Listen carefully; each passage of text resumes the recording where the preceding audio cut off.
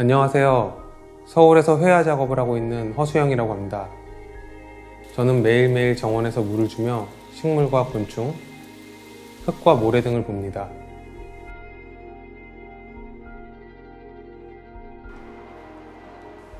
저는 자연의 여러 가지 특징 중 셀 수 없다는 점에 흥미를 느낍니다. 몇 개인지 알 수 없는 잎사귀들, 우수한 모래알들, 그 하나하나 다 다르게 생긴 수많은 것들을 보면서 제 그림 속에도 많은 것들을 담으려고 합니다. 풀이나 나무들을 하나씩 그려 숲이 될 때까지 그려보기도 했고 다양한 벌레들을 모아 벌레떼들을 그려보기도 했습니다. 계절이 변해가는 모습들을 겹쳐서 시간이 누적된 풍경을 그리기도 했고 가장 최근에는 여러 우주의 이미지들을 합쳐 존재하지 않는 우주를 그려보려고도 했습니다. 어떻게 보면 많이 그리고 겹쳐 그리고 오래 그릴 것을 염두에 두고 그렇게 그릴 수 있는 대상들을 선택해 그리는 것 같습니다.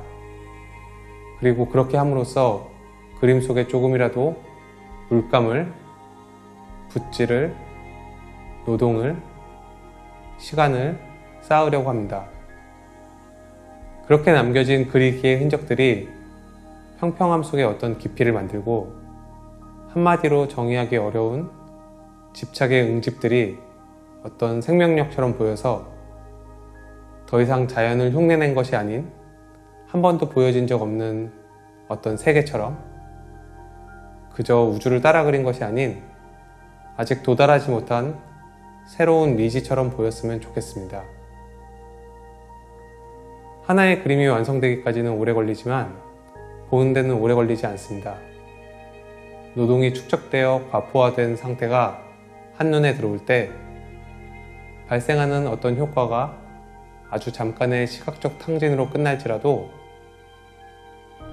이미지의 다수성과 압축된 시간성의 혼재가 의미의 피부가 되고 표현의 몸이 되길 바랍니다.